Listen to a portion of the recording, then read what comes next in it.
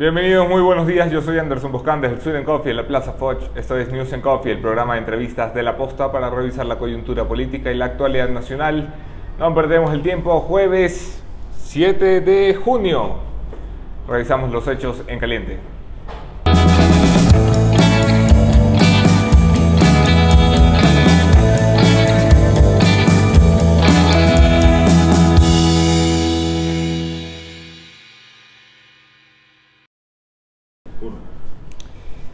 En caliente, el próximo 13 de junio, la Cámara de Comercio de Quito tiene el placer de invitarlos a todos ustedes que quieran escuchar una buena conversación a la conferencia magistral del expresidente Ricardo Lagos y el alcalde de Guayaquil, Jaime Nebot.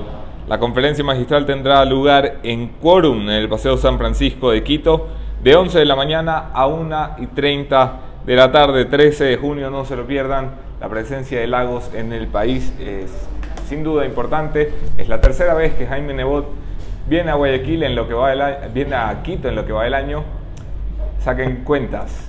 En caliente también Diario El Comercio publica hoy un reportaje importantísimo. Dos de los mandamases del grupo explosivo de alias Guacho estuvieron en manos de la justicia ecuatoriana meses antes del primer atentado en San Lorenzo. Los dos estaban acusados de tráfico de armas, de porte de armas, porte ilegal de armas, tráfico de drogas o porte ilegal de sustancias psicotrópicas eh, y porte de cosas y objetos robados. Los dos fueron sentenciados por los delitos menores, a los Jorge Glass.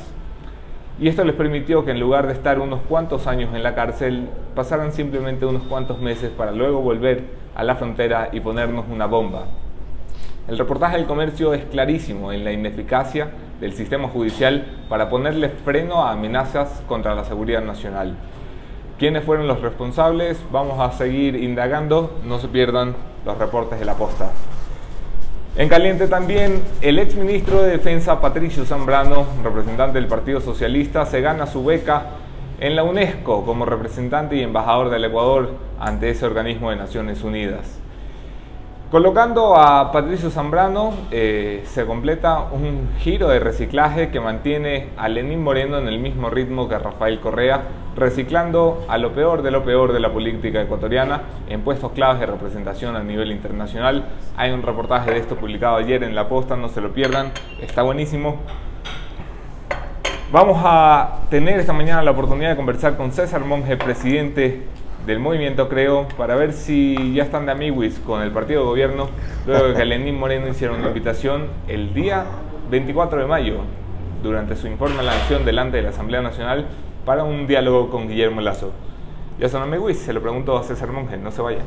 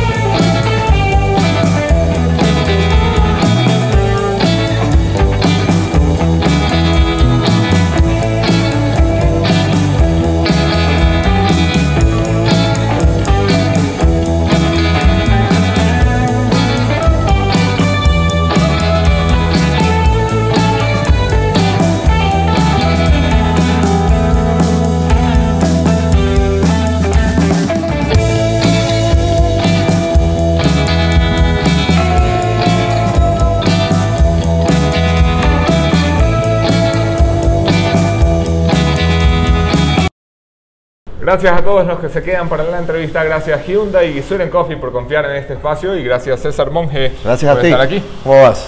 Pues muy bien. ¿Cómo están las relaciones bien, con el gobierno? Bueno, bien yo me refiero. Primero que nada, antes de empezar, porque ayer eh, me comprometí a enviarles un saludo a través de este programa a todos eh, los trabajadores de Gamavisión que hasta el día de hoy, después de un año, siguen tragados por eh, la actual administración. Así que fuerza, eh, hagan valer sus derechos, hagan escucharse y al señor Michelena y al señor Moreno paguen, no sean morosos.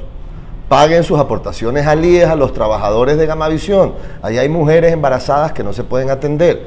Ahí hay gente de escasos recursos que no pueden ni siquiera ir a un médico porque ustedes no han hecho las aportaciones al Seguro Social. Así que ahí mi mensaje y no sé si eso responde a tu primera pregunta. ¿De cuándo acá tú eres defensor de los trabajadores de los medios públicos? No, porque eh, te cuento que, que, yo, tú sabes que yo estuve relacionado con el tema de comunicación, estuve en radio, estuve en televisión, fue una experiencia realmente eh, muy bonita, que yo la aprecio mucho, y conocí a, a quienes trabajaban en los medios que luego se incautaron y eh, tengo cierta comunicación con ellos. Eh, y aprovechando el tema que, me estás preguntando, ayer recibí una llamada de un grupo de trabajadores de Gamavisión. No voy a decir los nombres para que después no, no los voten de su eh, trabajo, pero me contaron esto y la, verdad es que más allá de, de, de Gamavisión, si algo yo detesto es cuando la gente usa el poder, ya sea para acosar a quienes piensan distinto o cuando hay un doble discurso. El IES pidiéndole a todo el sector privado que cumpla sus obligaciones, pero ese mismo IES no obliga a Gamavisión a hacer lo que tiene que hacer un empleador de un medio de comunicación que supuestamente es público o está en manos públicas. Pero ¿Qué traes los medios de comunicación incautados y públicos? Vamos a ello porque sí que has liderado una pelea fuerte, eh, no solo política, sino también en el sistema judicial, llevando a la justicia y a la fiscalía un pedido para que se abra una investigación seria que de momento sigue dormida. Sí. Mira, lo, primero que tengo que decirte, y, es algo que realmente, por lo menos a mí me, molesta, te digo en lo personal, yo no entiendo si tú estás en un gobierno y haces una declaración donde haces denuncias de corrupción, que luego simplemente dejes eso ahí en el aire como una declaración. Yo, eso no lo entiendo.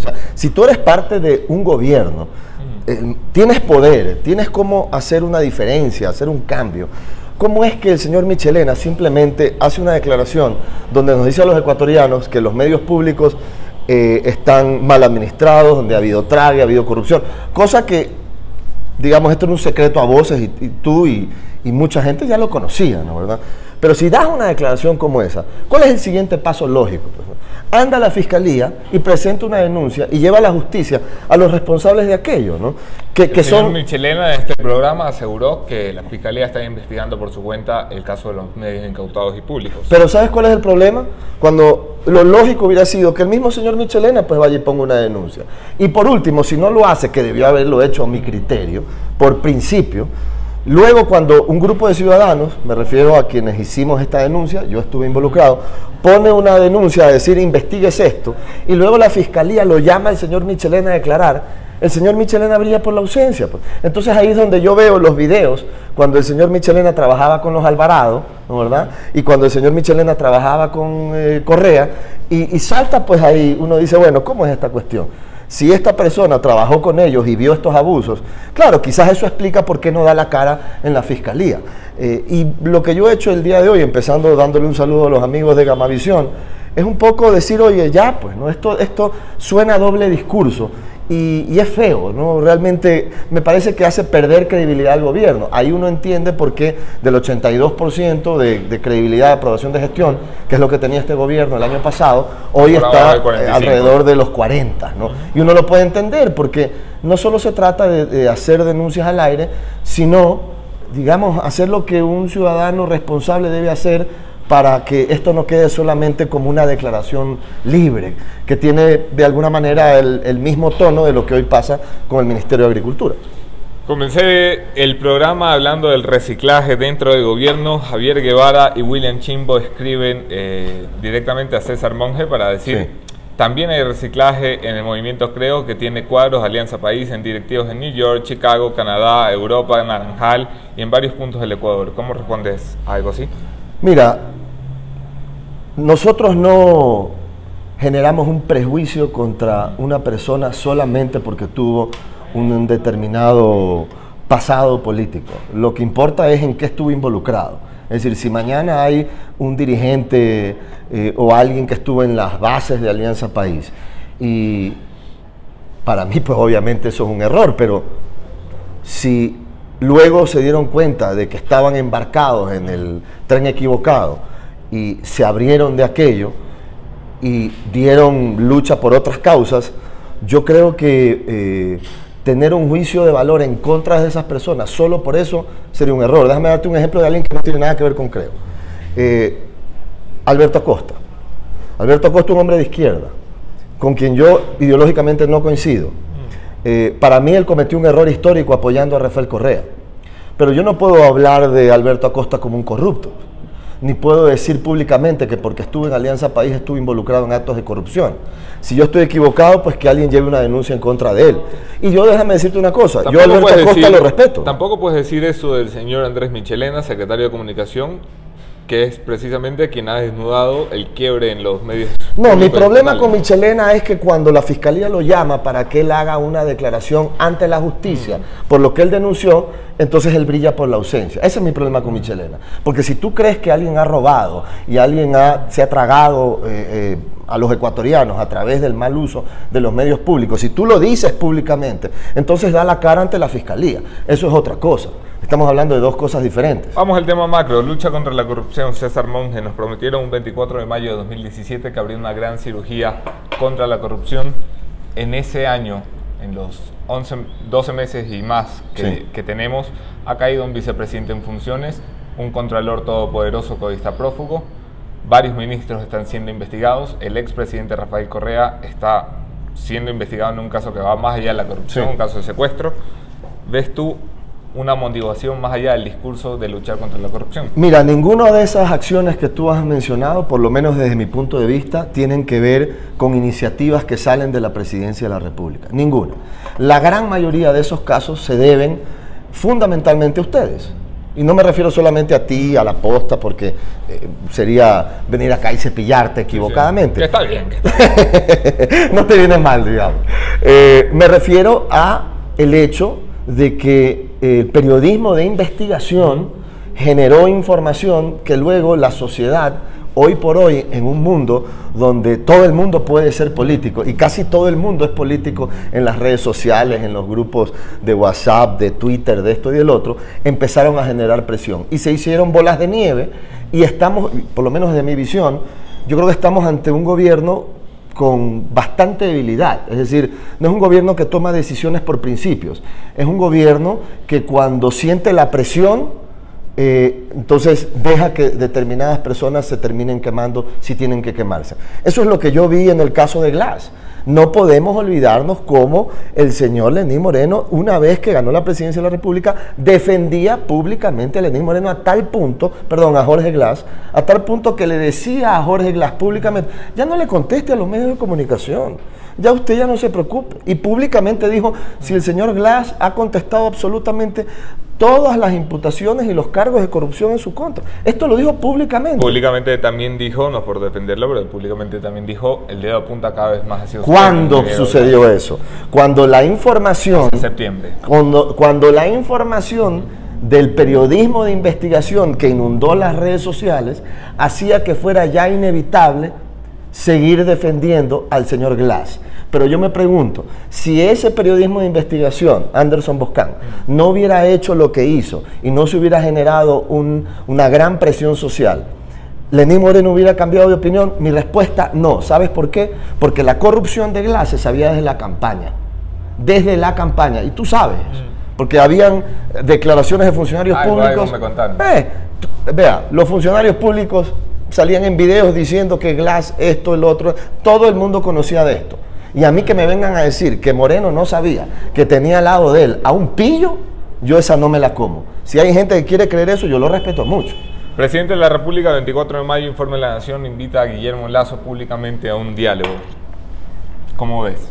Yo lo veo como, una, como un acto político.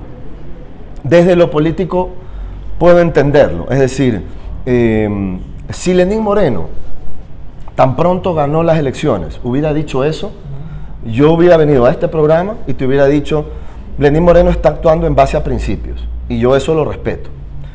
Y eso es lo que debió haber hecho. ¿Por la, qué? La Porque- última vez que estuviste en este programa Sí. te hice la misma pregunta sin declaración del presidente de por medio. Te pregunté si estabas de acuerdo con un diálogo con el gobierno. Dijiste que no.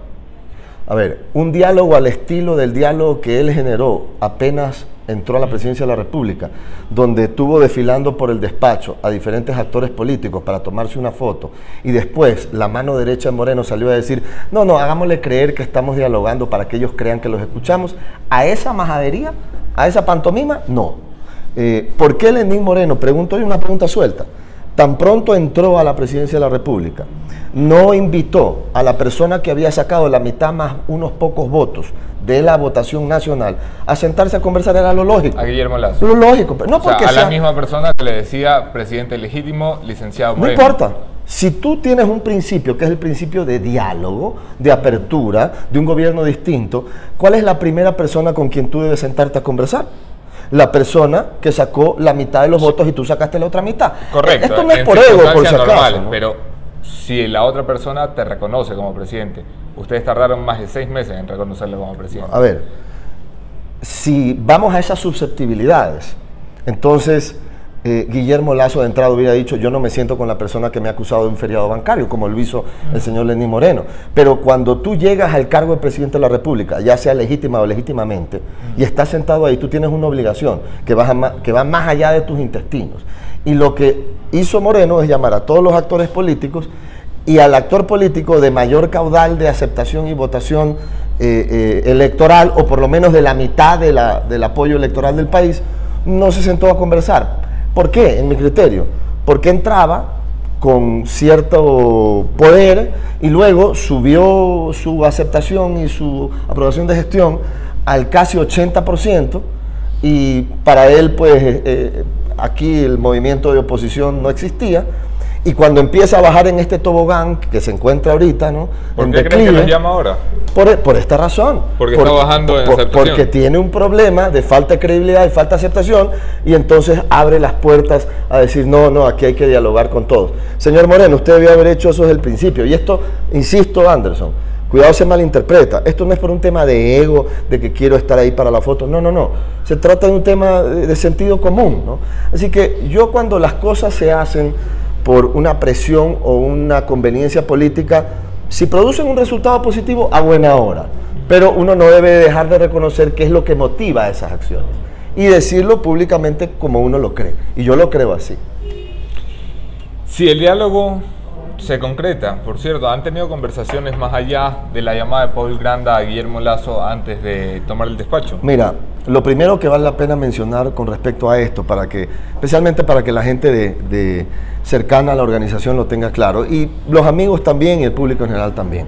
Yo leí el artículo de expreso de- del señor Granda, ¿no? Y el señor Granda, yo no sé si por error o por astucia o, por querer eh, actuar astutamente, políticamente hablando, deja entrever como que Moreno y Lazo ya se han reunido. ¿verdad? Dice, entiendo que ya se han reunido, entiendo que han conversado, etcétera, etcétera. Eh, y también se entiende un poco como que Granda y, y Lazo se han sentado a conversar. Guillermo Lazo fue muy claro, Anderson, y te lo ha dicho a ti en más de una ocasión. Yo estoy dispuesto, dijo Guillermo Lazo, a reunirme, eh, a dialogar por el bien del país públicamente Sí. frente a los medios con una agenda clara de temas a tratar, porque para la foto y el figureteo nosotros no estamos. Una llamada Paul Granda a Guillermo Lazo. Paul Granda llamó a Guillermo Lazo, Guillermo Lazo por cortesía, por educación, recibió la llamada, que fue muy corta, como la ha recibido de otros actores de, de este gobierno. ¿no, Sí, pero Que- particularmente el secretario de la política, una vez tomado su despacho, lo llama. Sí, pero yo te Para voy a decir una un cosa. puente, me imagino. Yo, yo, yo le, le hiciera una recomendación a- al, al gobierno, ¿no? que no me la ha pedido, pero yo lo hago porque eh, en política uno, digamos, eh, mantener eh, los temas ordenados es importante. ¿no?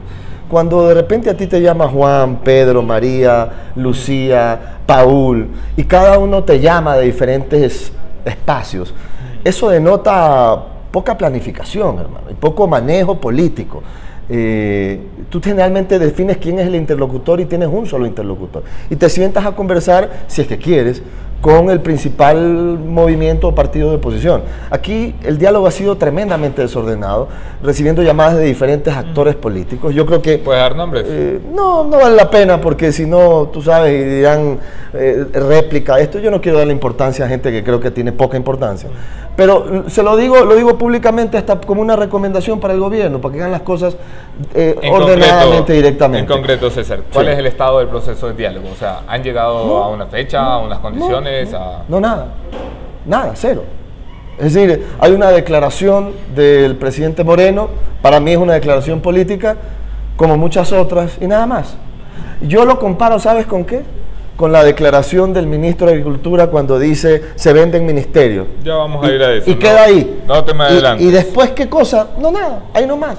Ahora, si, mañana, si mañana, solamente para terminar ese punto, perdón que te interrumpa, si mañana hay una intención verdadera de diálogo, por supuesto que vamos a recibir la invitación y estamos dispuestos a conversar bajo ciertos parámetros mínimos que son los que te acabo de mencionar. Transparencia frente a las cámaras, públicamente y con una agenda seria, seria, de temas que son para nosotros importantes, porque son los temas importantes el mismo día que el presidente anunció su deseo de tener un diálogo con Guillermo Lazo, su ministro de Finanzas, Richard Martínez, presentaba un plan económico. Te voy a pedir dos reacciones. La primera, la designación del ministro de Finanzas, ¿te sorprendió?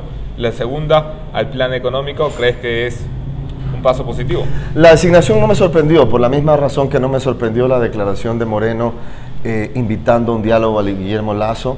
Eh, y la misma razón por la cual no me sorprende que cuando la presión pública sobre algún colaborador de Moreno se vuelve insostenible, eh, la defensa de Moreno de esos colaboradores se detiene. Es decir, me parece que la presión pública y el, y el deterioro de la imagen del presidente obligó al presidente a hacer algo que yo en lo personal creo que no está dentro de sus principios fundamentales.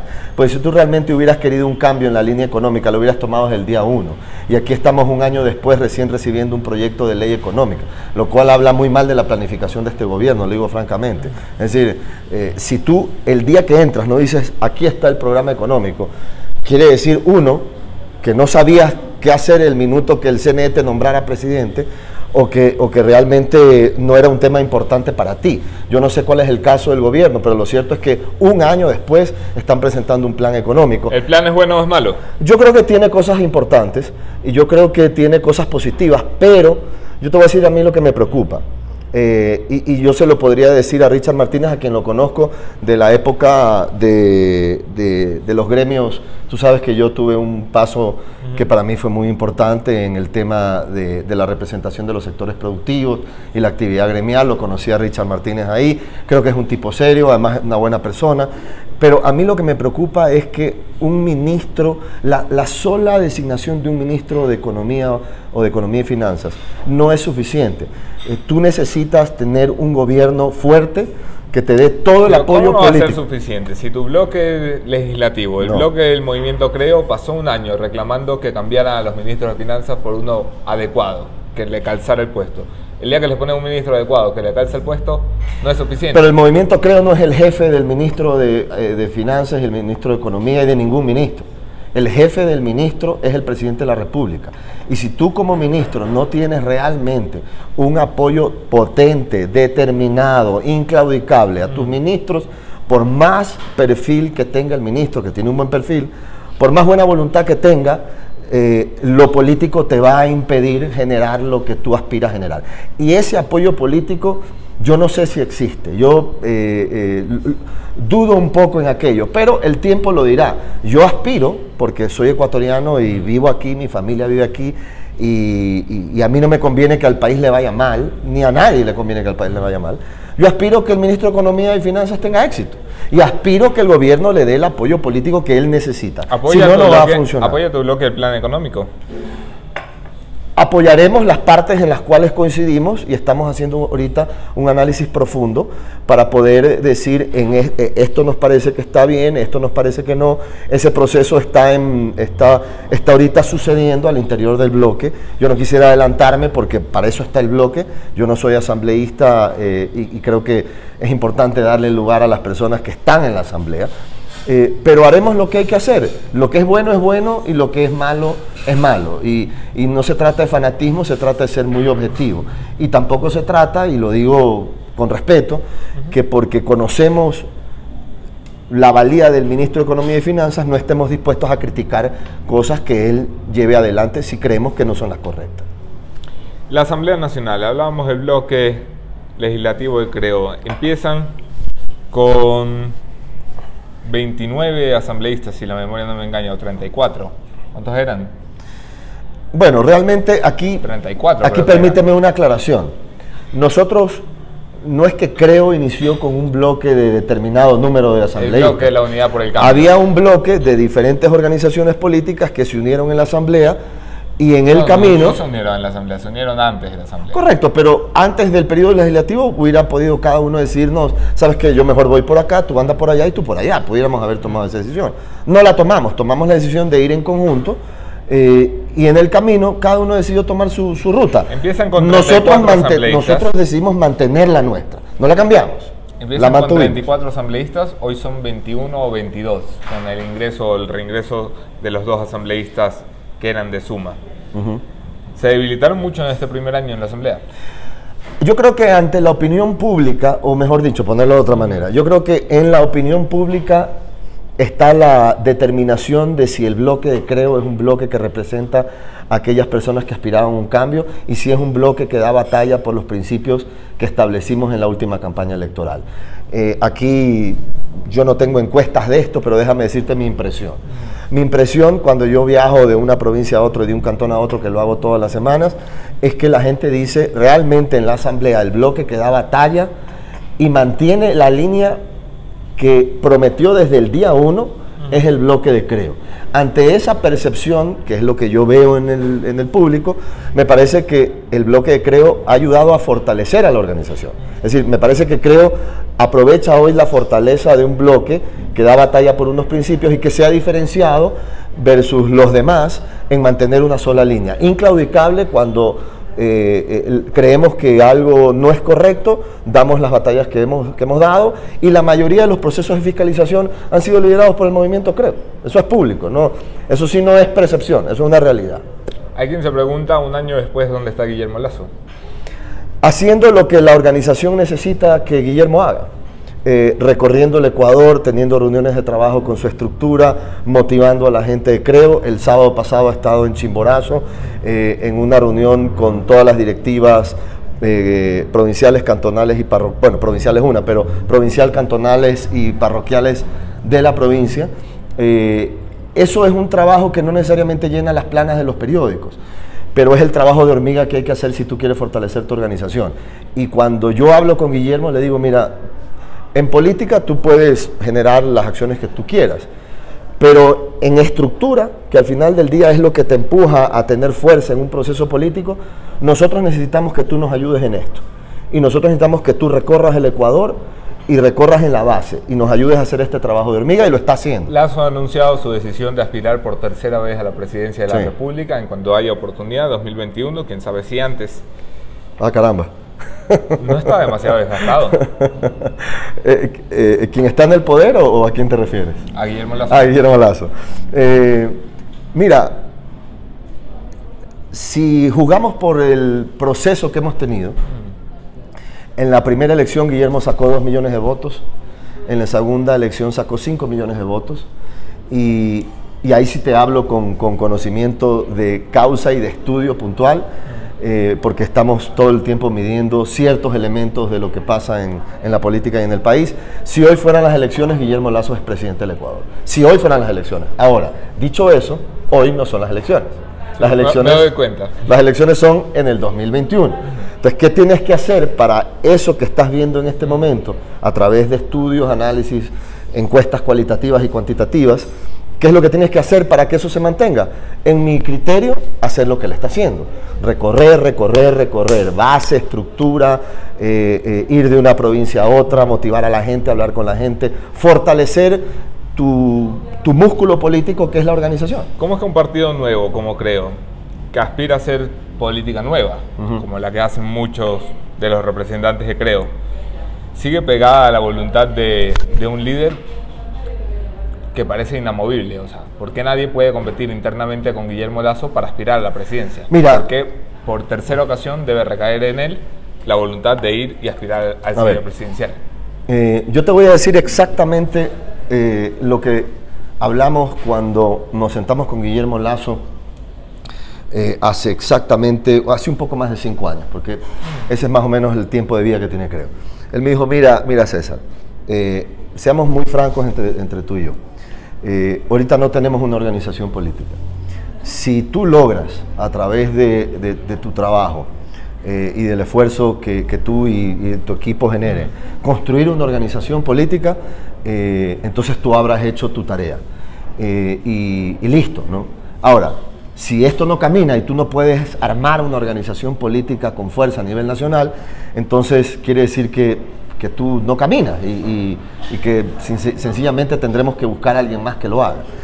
Y de la misma manera, si yo no logro generar aprobación, aceptación, apoyo popular para ser un candidato fuerte a la presidencia de la República, entonces eh, la organización política tendrá que buscar a otra persona más fuerte que yo. Eh, y si lo logro, pues tendré yo esa oportunidad. Clarita las reglas luego del día uno. Eh, hoy por hoy, estamos hablando de una organización política que tiene, que va, que tiene, digamos, un poco más de cinco años, entre cinco y seis, años. si cuando cumplamos 40 años de vida, Guillermo Lazo sigue siendo candidato a la presidencia de la República y el único... 40 años de vida, vamos a ver cuántos años tiene Guillermo, ¿no? Quizás tuviera que vivir como Moisés, pero eh, el punto, tú sabes al punto que voy. Es decir, si, de aquí a... No, exageremos tanto, si de aquí a, a, 20 años, ¿verdad? Guillermo Lazo sigue siendo candidato a la presidencia de la República. No hay nadie más en el movimiento, creo. Yo diría, eh, hemos hecho mal nuestro trabajo. Y definitivamente. Ahora, hoy por hoy... ¿Cómo respondes a alguien que dice Guillermo Lazo es dueño del partido? Yo le diría a esa persona que para ser absolutamente justos, genere una encuesta nacional y pregunte si hoy son las elecciones, quién es eh, el candidato de creo más fuerte y de mayores posibilidades. Y ese candidato es Guillermo Lazo. Yo te garantizo a ti que si mañana hubiese alguien con mayor aprobación y aceptación popular frente a las elecciones del 2021, el primero que diera un paso a un costado fuera el propio Guillermo. Eso te lo, te lo, te lo garantizo. Y, yo creo que así debe ser, hermano. Vamos a, terminar la charla del 2021 con la posibilidad de que Jaime Nebot corra para la presidencia, como lo ha adelantado ya uno de sus asambleístas, César Ron, quien ha confirmado a este medio de comunicación que Jaime Nebot aspirará en 2021. ¿Están preparados para hacerle frente a una fuerza como el socialcristianismo? Mira, yo no voy a valorar eh, eh, las fortalezas de nuestros contrincantes, pero te voy a decir qué es lo que nosotros creemos. Nosotros creemos en la competencia. Nos gusta la competencia, eh, nos entusiasma la competencia, nos motiva la competencia. Cuando entramos en el año 2012 a hacer política, había mucha gente que nos decía, ¿sabes qué, César? Ahorita no, espérate un ratito, corres muy fuerte, no se enfrenten contra él, jamás podrán ustedes derrotar Alianza País. ¿Y sabes qué pasó?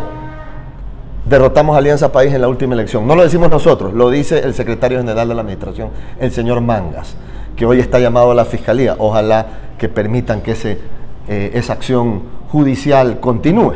Eh, y enfrentamos a Correa, y enfrentamos a una maquinaria mafiosa, a una banda delictiva que controlaba todos los poderes, que recibió dinero de Odebrecht, que recibió dinero de la FARC, contra eso nos enfrentamos nosotros. Entonces, ahora, ante este escenario, fabuloso, vamos a la cancha, juguemos el partido y, veamos quién es el mejor.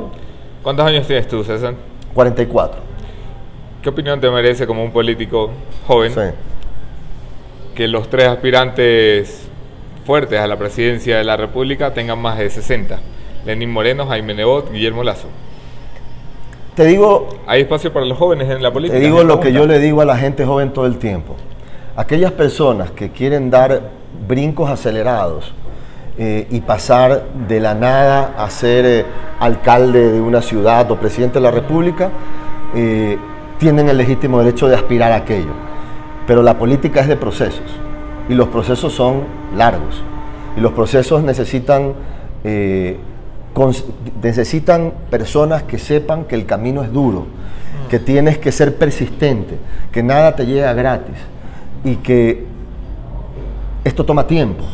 Eh, yo estoy aquí haciendo política, empecé hace cinco años y medio, cuando no había absolutamente nada, y espero seguir haciendo política, pero a mí no me quita el sueño tener que conseguir algo en este momento, porque sé que tengo un camino por delante y estoy dispuesto a seguir el proceso. Yo a la gente joven le digo, sigan el proceso, es mucho mejor. Cuando ustedes ven algo que salta de la nada y llega tan alto, eh, que puede parecer como que eso es lo que uno quisiera para no tener que pasar por el via crucis, lo que es un proceso político, fíjense lo que sucede. Vean lo que sucedió con Rafael Correa, salió de la nada, vea dónde está. Este señor va a terminar en la cárcel. Vea lo que pasa aquí en la capital de la República. Alguien que, pum, saltó a la alcaldía de Quito y hoy el 75% de los quiteños lo repudia. Entonces, la política es de procesos y toman tiempo. Que Guillermo Lazo hoy día tenga 71, 72 años y aspire a ser, y yo creo que va a ser el próximo presidente de los ecuatorianos, él tiene una vida pública de 40 años. Y yo no digo que todos los procesos sean iguales, pero él ha estado ahí, construyendo desde lo privado y desde lo público una trayectoria. Antes del 2021 hasta el 2019, ya a la vuelta de la esquina. Seccionales. Eh, acabas de nombrar a Mauricio Rodas, alcalde de Quito, con pésimas probabilidades de ir a la reelección. Vamos a ver si se atreve a medirse en las urnas. Ustedes han resuelto ya el, lío interno que tenían con 8 o 9 precandidatos. es un lío maravilloso, te digo, porque eh, en el 2013, nuestra primera elección seccional, recién teníamos pocos meses de haber nacido. Y, fue muy duro, fue muy duro. No, no, no, habíamos hecho, recién habíamos nacido en el 2012, estábamos recién tratando de hacer un proceso y, en muchos casos eh, no había gente que quisiera participar, por creo. Y eso fue tremendamente complejo, complicado eh, y duro también para la organización. Hoy por hoy, gracias a Dios, tenemos este, entre comillas, problema. Yo, yo creo que es una bendición eh, compleja, pero una bendición, de tener 5, 6, 7 personas por cantón que aspiran a que el movimiento Creo los auspicie, los apoye para ser candidatos. Eso es tremendamente, eh, yo creo que reconfortante, porque no somos perfectos, pero algo bueno habremos hecho para que haya mucha gente que quiera ser candidato por Creo. Ahora, tenemos que resolver esto. La única manera objetiva, y te lo dije la última vez que conversamos, desde mi criterio, para poder resolver esto, es preguntarle a la gente que vive en ese territorio donde hay personas que pretenden ser candidatos por creo. ¿Eso qué significa? Hacer un sondeo muy bien hecho, una encuesta muy profesional, no para ver qué piensan los de creo sobre los candidatos de creo, sino lo que piensa la gente afuera. Y en base a eso tomar una decisión. Este proceso ya arrancó, yo calculo que más o menos en unos 15 días ya tendremos eh, eh, varios de los análisis y los estudios que hemos hecho eh, en, muchos sitios en el Ecuador, en una gran cantidad de, provincias y cantones. Y con esa información tendremos que hacer algo que, no es muy bonito, ¿no? Eh, es duro, pero que hay que hacerlo, que es sentarnos con cada aspirante y decirle, mira, eh, esta es la realidad, vamos adelante contigo, te apoyamos, y lo mismo con otros amigos, buenos amigos, que de repente tienen que seguir trabajando un poco más y decirles, mira, esto es lo que piensa la comunidad sobre ti, todavía no es tu momento. A diferencia de Quito, donde tienen un mar de gente con probabilidades peleándose por eh, la posibilidad de llegar a la alcaldía, en Guayaquil lo que, se, lo que se ve desde fuera es la nada. No, en Guayaquil sucede, en Guayaquil y en Guaya sucede lo mismo. Eh, lo que sucede es que Quito es la capital de la República. Eh, en Quito la gente que aspira eh, tiene quizás un perfil público más alto, pero en Guayaquil tenemos la misma circunstancia, no quiero usar la palabra problema, tenemos la misma circunstancia de gente, de, creo, que, que, aspira, de gente cercana que aspira, que por... Eh, no tengo más que un nombre. No, porque, mira... Que te lo pongo además sobre la mesa, Francisco Jiménez, porque Pablo no, ha declarado rotundamente que no... no, lo de Pablo nunca fue una, una opción porque Pablo siempre fue muy claro desde el principio. Yo tengo que ser en eso muy, muy honesto y, a Pablo lo estimo mucho, es mi, muy buen amigo. Que, además nos ayudó mucho a construir este proceso también. Pero él, siempre fue muy claro y dijo que quería continuar en su actividad gremial. Pero hay eh, otros actores políticos de la organización, me han pedido que, que no haga público sus nombres, porque, claro, cuando se hace público el nombre de alguien que tiene un interés y luego resulta que esa persona no termina siendo el candidato, eso puede herir ciertas susceptibilidades y las personas que están en Guayaquil ¿Le tienen miedo todavía a la prefieren mantenerlo interna? ahí. ¿Perdón? ¿Le tienen mie- miedo todavía a la democracia interna? No, mira, creo fue la única organización política en el Ecuador, la única, ¿no? que realizó el año pasado un proceso de elección interna en 24 provincias y 3 territorios en el exterior. Sí, pero ahora que se Con el CNE, con no todo. son capaces de hacer públicos los nombres de quienes quieren aspirar al Porque uno, tiene, porque uno tiene que ser respetuoso. Si alguien te dice, yo quiero que tú me midas para ver si yo tengo la fuerza de ser candidato, pero aprecio que mantengas mi nombre en reserva. Yo no puedo luego darme la vuelta y salir y decir públicamente, mira, fulano quiere esto. Otra cosa es cuando la gente me dice a mí, mira, yo aspiro y si tú quieres referirte a mí, dale. Ah, Hay casos y hay casos y uno tiene que ser respetuoso de eso. A diferencia de Quito, en Guayaquil no hay una administración en funciones debilitada, todo lo contrario, Jaime Nebot se va a retirar por sobre el 70% de aprobación de gestión y de credibilidad, nombrando una sucesora en consenso con su partido, Cintia Viteri, que acaba de correr por una presidencial, que tiene una campaña hecha, que tiene un nombre en Guayaquil, 20 años de trayectoria, ha sido tres o cuatro veces legisladora. ¿Alcanzan a competir con un perfil como ese? Yo creo que Creo alcanza a competir en los 221 cantones y nosotros... y Sí, nos- sí, pero particularmente Guayaquil. En Guayaquil también. Una pugna con los socialcristianos que han mantenido el poder más de 20 años. Mira, en todo el Ecuador creo está listo para competir. ¿Podemos competir? Sí, sí podemos competir. Pueden ganar. Queremos competir también. Y la única manera de ganar es cuando tú quieres competir, cuando tú te la crees, cuando tú sales a la calle y haces un trabajo con toda la fuerza que tienes y luego te sientas y esperas a ver qué decide el pueblo. Pero lo primero es tomar la decisión y creo tomó la decisión de competir en el Ecuador, de armar una organización política nacional, de ganar la presidencia de la República y de superar lo que sucedió en el 2014, De que fue 2000 nuestra primera de 2010 elección seccional. De 2017 se retiraron con la etiqueta de segunda fuerza electoral del país. ¿Son capaces de mantenerlas para el próximo año? Si tú me preguntas a mí hoy, después de que conocemos la verdad de los hechos, yo creo que la etiqueta hoy, por lo menos la que yo llevo en el corazón y la que yo le digo a todos los que formamos parte de Creo en el Ecuador, creo ganó las elecciones. Porque nosotros no recibimos dinero del narcotráfico, porque nosotros no nos financió Odebrecht, porque nosotros no perdimos las elecciones como dice el señor Mangas, y porque nosotros no controlábamos ese Consejo Nacional Electoral, que gracias a Dios aparentemente hoy va a ser removido.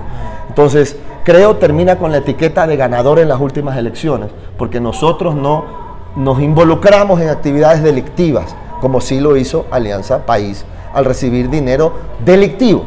Dicho eso, ¿qué queremos nosotros ahora en el 2019? Bueno, superar lo que logramos en el 2014. 2014 Hombre, que muy difícil no será, ¿no? Que en el 2014 no le fue para nada bien. No, a ver, uno nunca debe asumir que las cosas se dan solamente porque hay una curva de crecimiento de una organización política.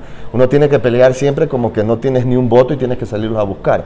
Obtuvimos en el 2014 21 alcaldías y una prefectura.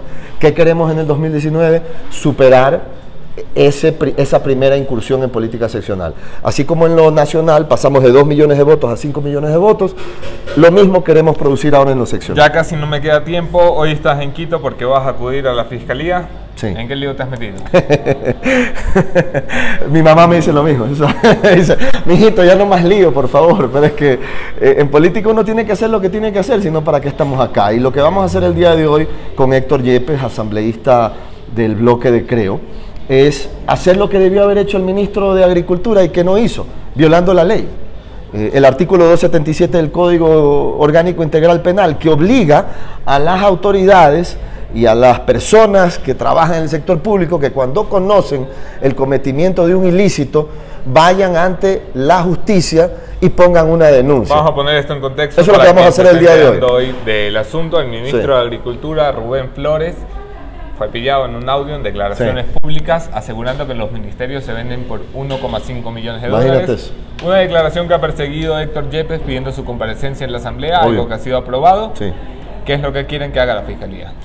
lo que tiene que hacer una fiscalía en un país que no puede permitir que públicamente se diga por parte de un ministro que aquí se trafica con ministerios, que se los vende por millones de dólares y que el tema simplemente quede ahí. Si el ministro no quiere poner una denuncia, como él debería hacer porque la ley lo obliga, si la fiscalía no quiere empezar una investigación de hecho, que lo debería hacer por principio básico, entonces los ciudadanos vamos a ir a la fiscalía el día de hoy y vamos a decir, aquí están los audios del señor ministro, aquí están estos otros audios que desde ayer, o antes de ayer, si no me equivoco, están rodando, donde se confirma lo que decía el ministro y hay nombres de personas ahí involucradas presuntamente, para que se le diga al país quién pagó 1.5 millones de dólares por el ministerio, quién estuvo involucrado, quién recibió ese dinero, quién fue cómplice de esto y si esta es una práctica común del gobierno de Lenín Moreno, porque no, no es suficiente, con esto termino, hablar de hacer una cirugía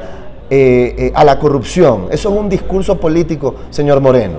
Si usted quiere hacer una cirugía para la corrupción, dígale a su ministro que vaya y haga lo que vamos a hacer nosotros el día de hoy. Y si no lo hace, que por lo menos vaya a declarar. Termino con esto. Postura Venezuela, una postura que tu partido ha defendido, al igual que otros, muy fervientemente. El presidente ha dado un pequeño giro. Flojo. En esa política, eso te iba a pedir. Flojo, flojo, flojo. Guillermo Lazo lo calificaba como un paso importante. Sí. Tú lo calificas como flojo. Yo creo que es un paso importante sin duda porque sería una tragedia que no haya ningún paso, pero en el fondo es flojo.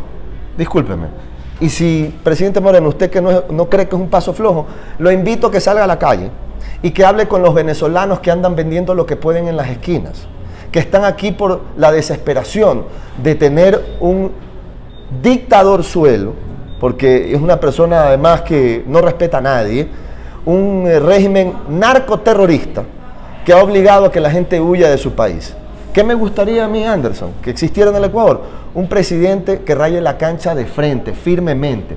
El otro día lo vi a Piñera hablando del mismo tema. Créame que como latinoamericano me dio orgullo. Esto es lo que hay que hacer. En política no, hay media, no deberían haber medias tintas. O tú estás de un lado o estás del otro. Pero en las zonas balumosas grises, ahí están los que no tienen personalidad. Y por lo menos a mí me gusta tener líderes con personalidad. Esta ha sido la conversación con César Monge. Un abrazo. Presidente del Movimiento Creo, no se vaya mi conclusión de esta mañana, punto final.